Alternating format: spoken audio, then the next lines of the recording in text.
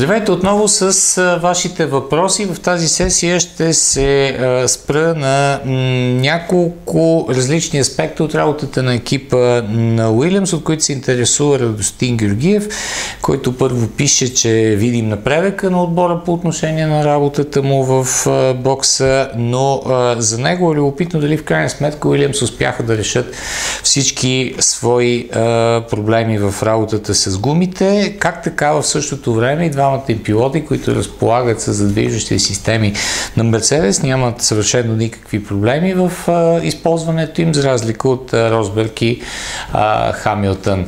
Значи, а, темата за, за Уилямс е много дълга, много интересна, защото има различни аспекти в а, работата на този традиционен в а, така, представянето и в присъствието си в Формула 1 отбор. На първо място, напредъка на, на екипа по отношение на работата с гумите, мисля, че също е така видим, както в работата на механиците в бокса, които правят едни от най-бързите спирания в а, а, момента от всички в Формула 1. Проблема при тях е, че те нямат капацитета на развитие, т.е. да правят автомобила толкова по-бърз в всяко едно негово излизане на пистата, както това се случва с големите им съперници от Мерцедес, от Ферари, от Red Bull. В Барселона, например, Уилям заедно с Залбър беше един от отборите, които практически почти нямаше никакви нови елементи за изследване, тъй като отбора е насочил цялото си внимание вече към изследването на някои елементи за 2018 година. По време на тестовете след надпреварата на пистата Каталуния видяхме уникални неща, например ново задно крило, което изглежда много атрактивно, но всъщност идеята за поставянето му е да се изпробва начина на, на работата му при положение, че неговата дължина е приблизително тази, която ще имат крилата през 2017 година.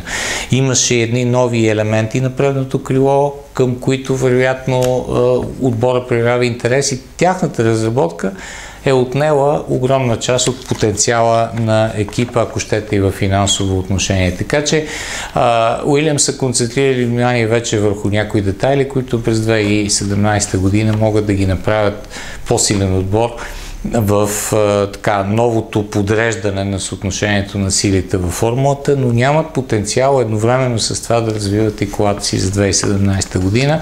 Като цяло, мисля, че напредъка е видим в работата им през тази година, но отново са реално отбор, който е далеч от скоростта на Мерцедес, далеч от скоростта на Ферари, а и вече зад Red Bull. Така че след две поредни години, в които са трети в класирането, този сезон изглежда, че няма да успеят да запазят тази позиция.